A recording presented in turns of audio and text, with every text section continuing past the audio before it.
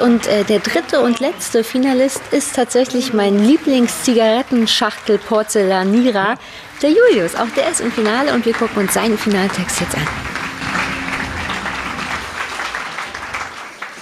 Hello again. Oh Gott, das geht jetzt schon los. Das Astra hat mir schon gut gemundet. Ähm, davon mal abgesehen, äh, der nächste Text passt auch zu meiner äh, neu erfundenen Reihe Ich hasse Menschen. Kennt er vielleicht noch von vorhin. Er passt auch äh, gut zu diesem MySpace-Spiel, ähm, was immer an der Seite erscheint, wenn man sich ausloggt. Füttere den dicken Jungen, bis er seine Freundin ankotzt. Ähm, und der macht es wirklich und äh, drückt sie mit seinem Kotzeschwall durch die Wand. Aber warum machen die? Aber das ist wie Jamba. Ach. Der Text jedenfalls äh, ist überhaupt nicht mehr lustig. Ähm, es geht um Frauen. Ich hoffe, einige fühlen sich angesprochen. Jetzt genug der Vorrede. Aspekte der Tiefe Teil 1.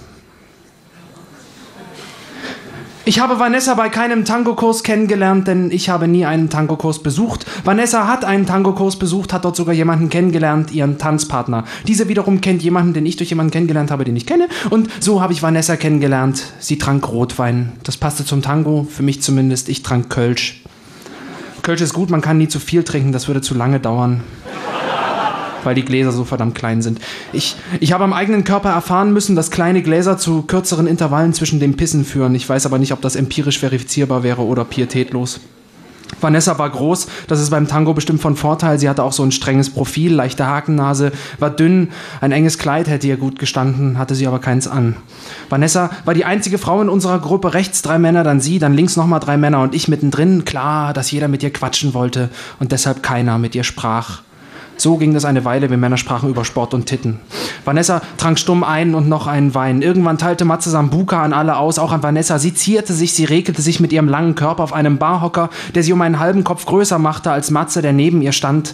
Vielleicht kam er ihr deshalb immer näher, 30 Zentimeter, dann noch zwei vielleicht irgendwann. Erzählt ihr was vom Schweizer Fußball. Sie knallte den aufgrund ihrer Ziererei unangetasteten Sambuka auf den Tresen, schob ihn von sich weg, während sie sagte, hey, ich hatte einen anstrengenden Tag, ich war gerade anderthalb Stunden tanzen und würde mich gerne über was Tiefes unterhalten. Mariannengraben, brustete Matze, spuckte dabei großzügig Sambuka und Kaffeebohnensplitter über mein Gesicht und die Theke.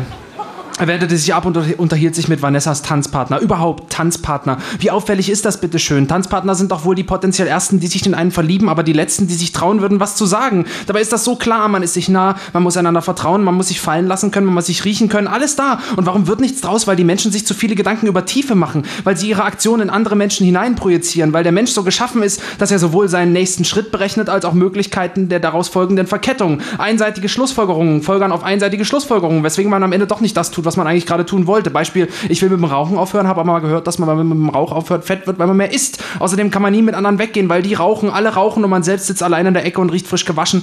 Zumindest aus dem Mund. Deshalb hört man doch nicht auf. Moment, hatte ich das gerade alles aufgrund von Vanessas Wunsch nach mehr Tiefe gedacht? Verrückt. Ich drehte mich, während ich mir lachend den Sambuka aus dem Gesicht wischte, total, total cool zu ihr rum, sah ihr in die Augen und sagte, okay, sprechen wir über was Tiefes. Und wir sprachen in erster Linie über sie. Ich hegte die Vermutung, dass das mit Tiefe gemeint war. Tiefe nicht im Sinne um Universum, Staubkorn, Illuminaten oder die Diskussion der Frage, ob Gott, wenn er mal zufällig Richtung Horizont ginge, auch irgendwann nicht mehr zu sehen sein würde, aber auch heruntergefallen wäre einfach. Tiefe nicht etwa im Sinne von, wo komme ich her, wo gehe ich hin? Tiefe nicht im Sinne von, werden es meine Kinder in dieser Welt gut haben, wenn ich immer vierlagiges statt zweilagigen Toilettenpapier, Toilettenpapier kaufe? Nicht die Tiefe, die einem der Schlaf bringt und so weiter. Und wenn wer sprach, dann doch kaum ich. In den buntesten Farben wurde mir als Tiefe verkauft, was eigentlich der Hilfeschrei einer zutiefst verunsicherten jungen Frau war, mit abgeschlossenem Studium und Job bei der EU, aber doch so völlig ohne Perspektive. Perspektive. Ich hörte ihr eine Weile lang zu, weil ich dachte, das wäre das, was sie meinte, nachdem ich gemerkt hatte, dass das, was ich unter Tiefe verstand, in diesem Zusammenhang kaum Beachtung finden würde. Es ging also wieder mal um Männer, die sie verlassen hatte, die sie verlassen hatten, Männer, in die sie sich nicht verlieben konnte, weil sie so schlimm verletzt worden war. Ich sprach von gegenseitiger Akzeptanz, von Bewunderung für den Partner, die wechselseitig funktionieren müsste und fragte sie natürlich auch, was ihrer Meinung nach bewundernswert an ihr wäre. Na, ich dachte, das sagst du mir. Ja, also doch nur Flirterei, ein paar aufbauende Worte von einem dicken Jungen, der morgen sowieso wieder weg ist. Pass auf, ich bin nicht hier, um dich aufzubauen. Wir werden keine Beziehung haben. Dementsprechend brauche ich dir keine Komplimente zu machen. Ich kann auch keine Komplimente, da ist das Verhältnis zwischen Aufwand und Nutzen doch relativ gering.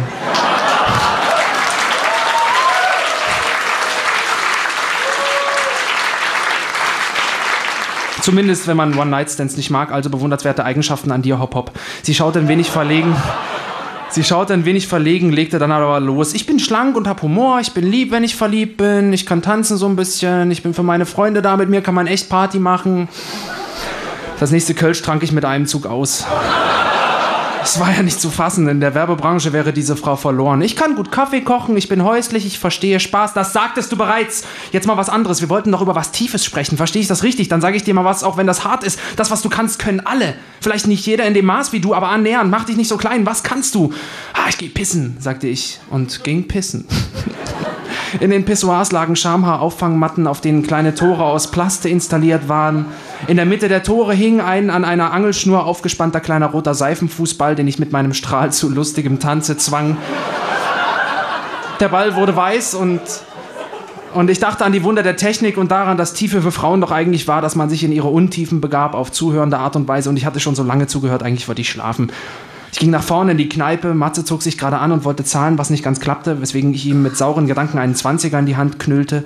Vanessa saß da, sah mich mit großen Augen an. Hey Vanessa, ich glaube, wir haben jetzt genug Tiefes bequatscht. Ich bin irgendwie... Matze schlug mir auf die Schultern, unterbrach mein mühsam vorbereitetes Verabschiedungsplädoyer. Wir ziehen auch in so ein Hausclub, ich will jetzt dancen. Ich wollte eigentlich schlafen, aber lieber Haus als Hotel. Vanessa schüttelte den Kopf, ich komme nicht mehr mit, denke ich bin nachher ganz schön fertig. Während wir nach draußen gingen, versuchte Matze sie zum Mitkommen zu überreden. Ich versuchte, nicht allzu froh auszusehen. Dann standen wir noch eine Weile unschlüssig herum draußen, es regnete. Mit einem Mal hakte sich Vanessa bei mir ein, ich sah sie an, versuchte das zu ignorieren, was in ihren Augen flackerte, so eine komische Leidenschaft, die sich in verkrampftem Küssen und Rumgefummel bei ihr auf dem Kokosläufer wohl würde entladen können. Eine Leidenschaft, die ich überhaupt nicht spürte. Komisch eigentlich. Sie verstanden mich irgendwie falsch. Jetzt sag es. Was? Na, das Kompliment, was du mir machen willst. Kompliment? Oh, oh, Mann. oh Mann, der Körper als Geste. Wie oft macht man am Tag Bewegungen, die von anderen Menschen als Geste empfunden werden? Nun gut, jetzt müsste ich mir was einfallen lassen.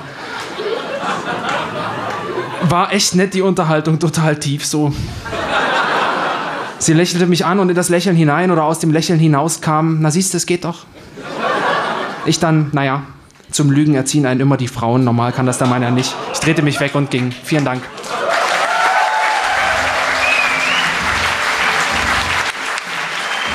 Und das waren sie, alle drei Finalisten mit ihrem Finaltext. Jetzt sind ja alle Pfennige für die Bewertung schon weg. Jetzt wird unter den dreien mit Applaus entschieden. Wer also den lautesten, dollsten, jubelndsten Applaus bekommt, ist der Gewinner und darf dann mit dem Wodka heute Abend ins Bett gehen. Wir gucken mal, wer das wohl wird. Ihr seid in euch gegangen, habt mit euch selber Rat geschlossen, äh, wer, wen ihr gerne zum Sieger des heutigen Abends wählen würdet. Denkt daran, klatscht bitte nur für den, den ihr wirklich zum Sieger küren werdet. Alle anderen waren auch gut, sie haben ihre Texte selber geschrieben, sehen nett aus. Trotzdem, es kann nur einen geben. Wer dafür ist, dass Julius Fischer den heutigen Abend gewinnen sollte, der applaudiere bitte jetzt.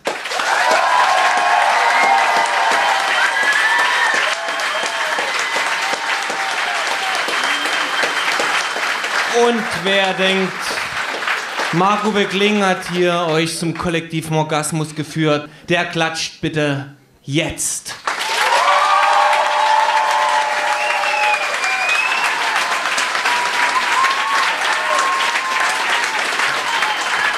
Mhm.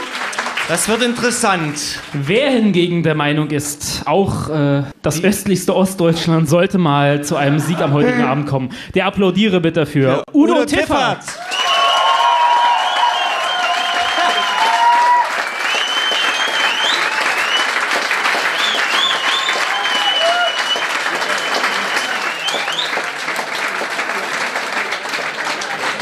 Meine Damen und Herren, wir haben eine Premiere beim Dresdner Poetry. Den ersten Dreifach-Sieg der Geschichte. Gewonnen haben Julius Fischer, Marco Wickling und Udo Tipper.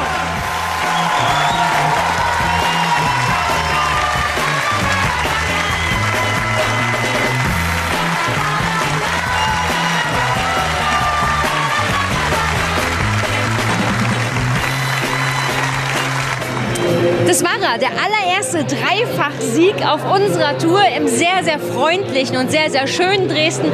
Es war toll hier. Ich gehe jetzt mal Richtung nach Hause. Allerdings muss ich unterwegs noch an der Disco ein bisschen tanzen äh, vorbeigehen. Wir sehen uns in München. Bis dann.